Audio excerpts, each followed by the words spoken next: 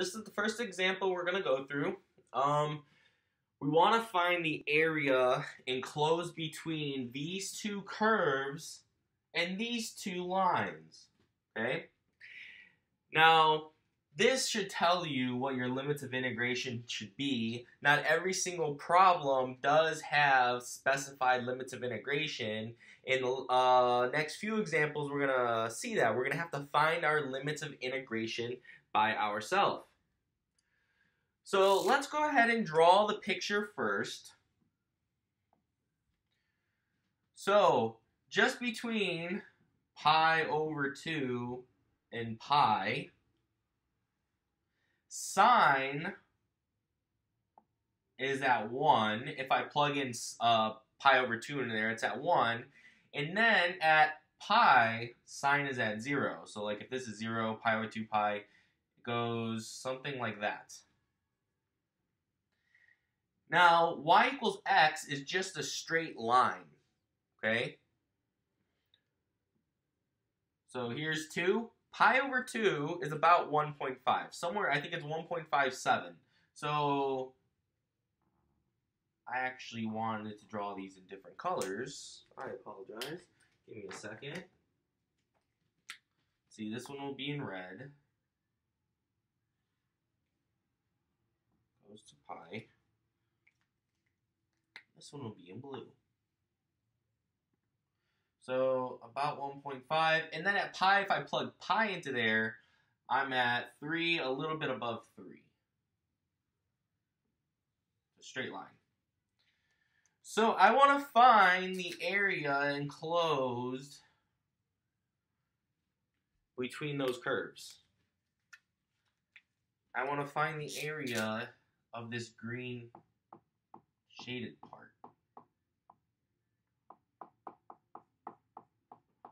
Right there. So this is a instance of that first case. It's going to be the upper function minus the lower function.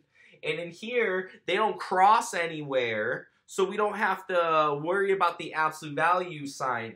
We could see that the upper function is the blue one, that's y equals x. The lower function is the red function, the sine of x. So I could write this as the integral from pi over 2 to pi. The upper function is x minus the lower function sine of x dx. This will successfully compute the area between the two curves. So this is just undo the power rule, so uh, it's 1 half x squared. This is undo the uh, trig function, un the derivative of negative cosine, or sorry, if cosine is negative sine, so antiderivative of this should be cosine of x. We're going to evaluate it at pi, and then subtract it, uh, the evaluation at pi over 2. So, 1 half pi squared plus cosine of pi. Just taking pi, plugging into here, minus 1 half pi over 2 squared plus cosine of pi over 2.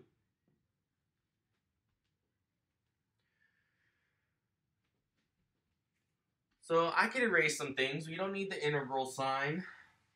See, I'll keep this. Uh, we no longer need the picture, and we don't need the problem. So, bringing this up to here, we got 1 half pi squared plus cosine of pi. Cosine of pi is negative 1. Minus, okay, this minus has to distribute to everything over here. That's why I'm using a bracket. So this is 1 half times pi squared over 4. Squaring it, pi squared, 2 squared is 4. Plus 0. Cosine of pi over 2 is 0. So I got 1 half pi squared minus 1 minus pi squared over 8. Putting these two, multiplying these two, we get a denominator of 8. We're almost done. We see some like terms here. If I rewrite this 1 half as 4 over 8, now they have least common denominators. So I got 4 over 8 minus 1 over 8. The final answer is going to be 3 over 8 pi squared minus 1. And that is the area between both those curves, the sine of x curve and the uh, y equals x curve, between our two bounds, pi over 2 to pi.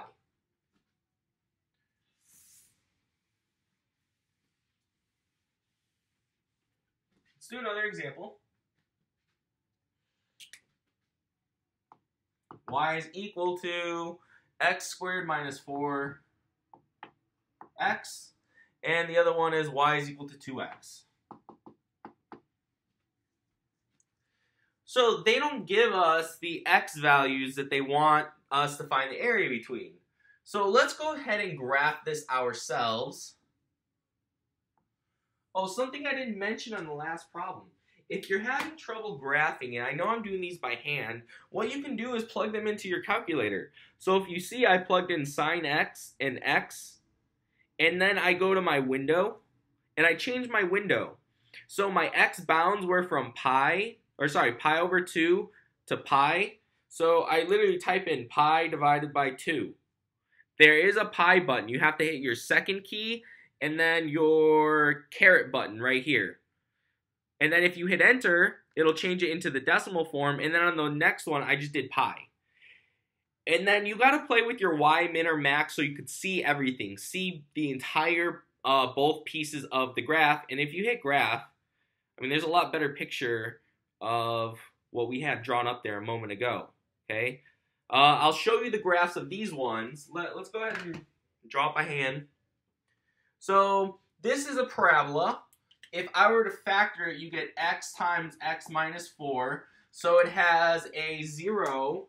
Let's see, let's use different colors again. It has a, I'll do this one in blue, has a 0 at 0, and it has a uh, 0 at 4. So 1, 2, 3, 4. Its maximum is going to occur here. Uh, if I plug in 2 to here, uh, 2 squared is 4. Uh, minus, hmm. Oh, it's supposed to be going like that. It's a minimum. It's a minimum. So it should be at negative 4. Negative 1, 2, 3, 4. Something like that. Now, let me go ahead and draw this one. So, starts at 0 and it goes up 2 over 1. Up 1, 2, over 1. Up 1, 2, over 1. Up 1, 2, over 1. Up 1, 2. I ran out of room.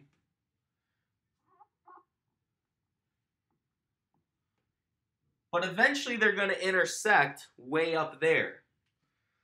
So you can see the area between the two curves that we're talking about.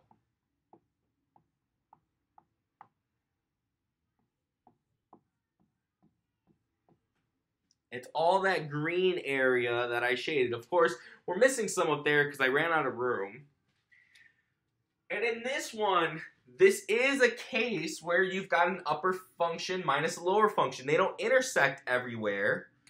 So what we're going to do is find the integral, start at 0. We still got to find our upper limit. We haven't done that yet.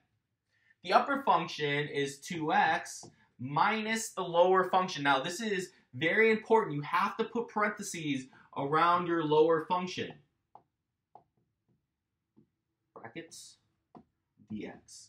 Because it's minus the entire function. It's f of x minus g of x. Don't forget to distribute the negative into the, uh, the whole function. I could see that being a very common mistake. So now let's find our upper limit.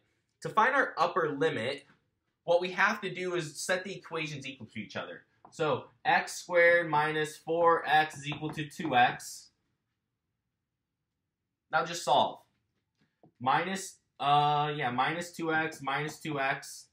You get x squared minus 6x equals 0.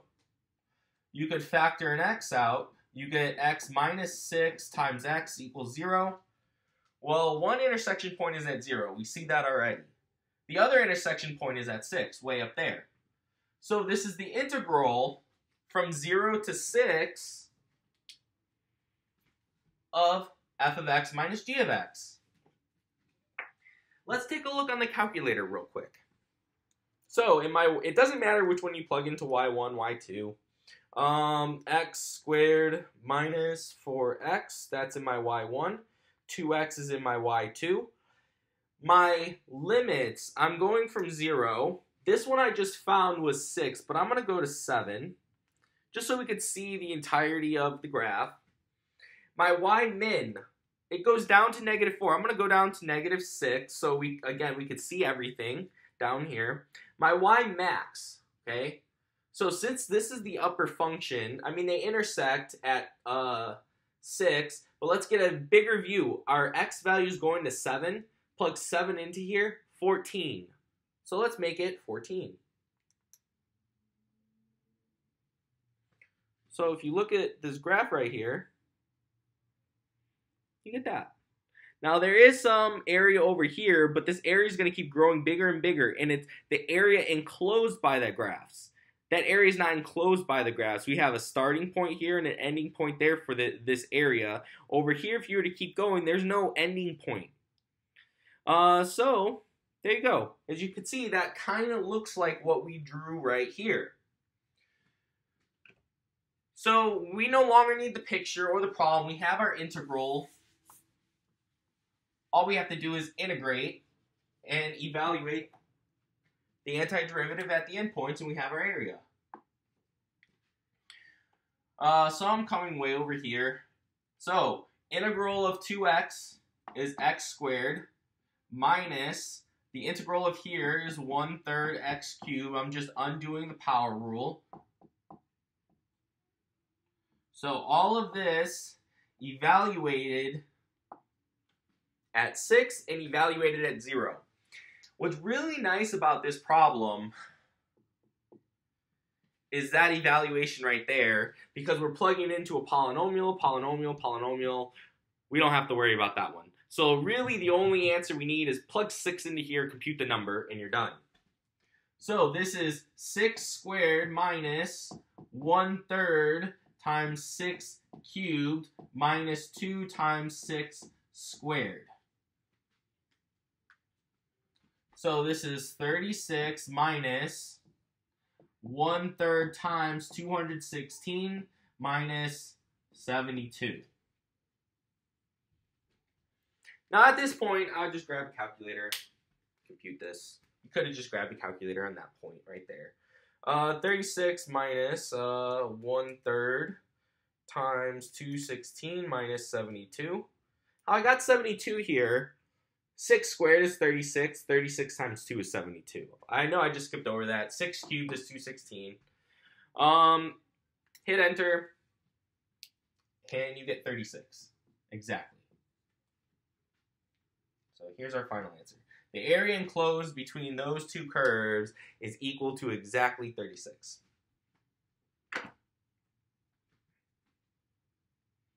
Let's see, is 216, 216 divided by 3 is 72. That's why we get 36. This entire piece right here is 0. Pretty nice.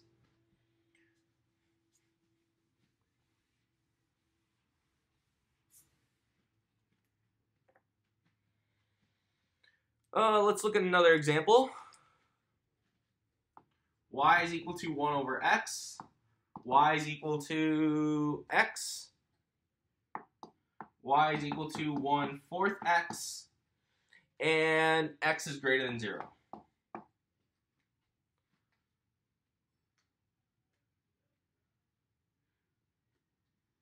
Let's go ahead and draw it.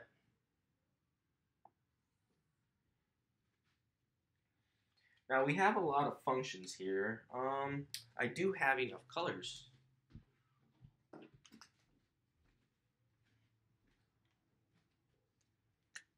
So this one will be, this is purple. hopefully you guys could see the purple. Uh, this one will be blue. Hopefully you could see the difference in the blue and purple. And this one will be red.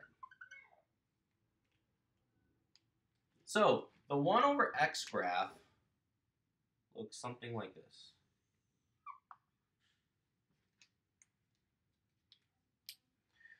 Let's see, the blue one, the y equals x graph, looks something like that. The 1 fourth x graph looks something like that. So the area that we are talking about enclosed by all of these curves now they say x is greater than 0 because if we go x is less than 0, we're going to get the same image. They're all odd functions, so in the negative direction, it's just going to flip over here. We're going to get the same exact thing, okay? That's what that is saying. So the area that we're talking about is that green triangle right there. Now let me blow up the triangle a little bit um, so we can see something else that's going on. So there's the blue curve. Here's the red curve. And here is the purple curve. Looks something like that. All I did was extract this piece out to there. So our A, see, I want black here.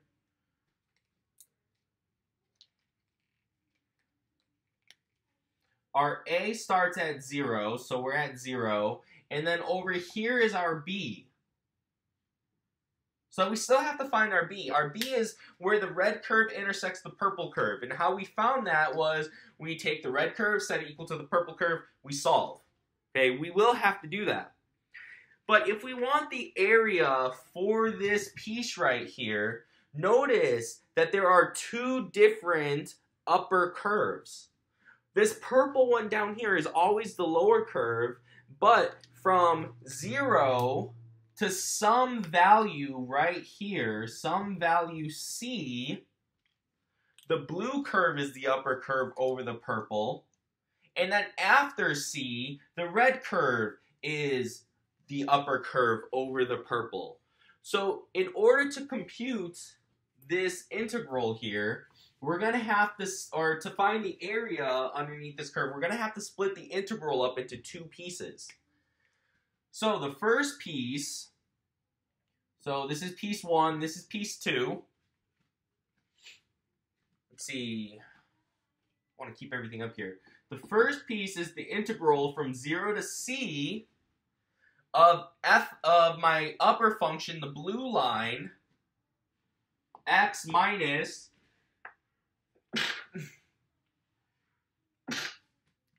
excuse me, x minus uh, the lower curve, which is the purple one here. So 1 fourth x dx. Now, I know we could simplify that. Let's not simplify right now. So that's just the area of the first piece. Now, the area of the second piece is the integral from c to b. We still got to find those. Of the upper curve, which is the red one, so the red one is 1 over x minus 1 fourth x dx.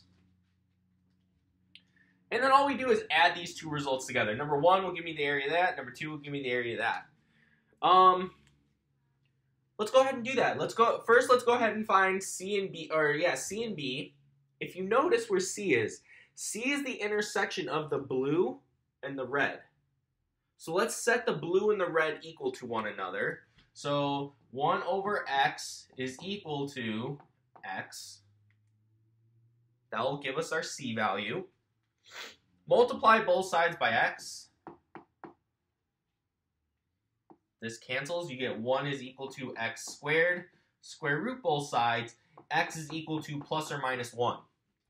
As I said, this, if we were to count the negative over here in the third quadrant, this would just reflect and it would look exactly the same. That's why we're getting the negative one. Since x is greater than zero, we only care about the positive one. So, this says c is equal to 1. So we could replace this with the 1. We could replace this with the 1. Now let's go ahead and find b. b is the intersection of the purple curve and the red curve. The purple curve, 1 fourth x, is equal to the red curve, 1 over x. Do the same kind of process. I'm going to multiply this both sides by uh, 4x. Let's see, the x's here cancel, the 4's here cancel. I get x squared is equal to 4. Square root both sides. I get x is equal to plus or minus 2. So plus or minus 2 again, same argument. We'd have one in the negative version, but here's the condition. x is greater than 0. We only care about um, the positive form. So b is equal to 2. Equal to 1, equal to 2. Now that we have all of our limits and our functions, we can go ahead and compute these areas and find the total area of this triangle. So we don't need anything on the board except for those two integrals right there.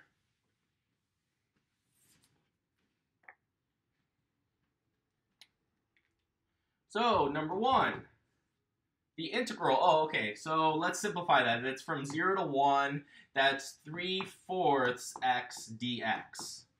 Putting together like terms. 1 fourth, or 1 minus 1 fourth is 3 fourths. So, this is equal to undoing the power rule. Go up one power, then divide by that. You're going to get a 3 eighths. Evaluate it from 0 to 1. This one's super easy. Plugging in 0 gives you nothing. Plugging in 1 just gives you 3 eighths. So that was area 1. Now we need area 2. From 1 to 2 of 1 over x minus 1 fourth x dx. Well, the integral of 1 over x is ln x minus, go up 1 power, and then divide by that power. So 1 fourth divided by 2 is 1 eighth. I'm going to evaluate this from 1 to 2. Plugging in 2, you get ln 2 minus 2 squared is 4. 4 divided by 8 is 1 half. Minus, I got to plug in 1. ln of 1 minus 1 eighth. Well, ln of 1 is 0.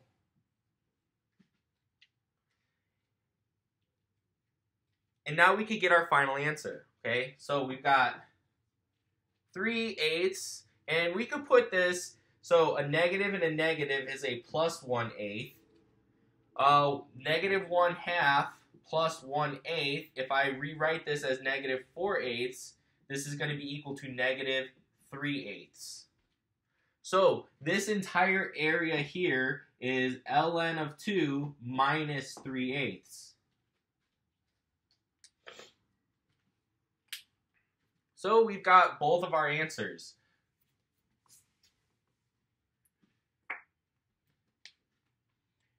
We just got to find area 1 plus area 2.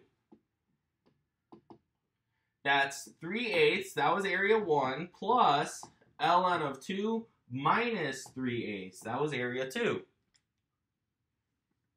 And I just noticed the video paused. Uh, if you were to compute this, I'll stop the video. I'll keep talking so you guys could listen. I don't want to start a new video. But if you were to compute this, um, you're going to notice the 3 eighths cancel, and all you're left with is an ln of 2. So that would be your final answer.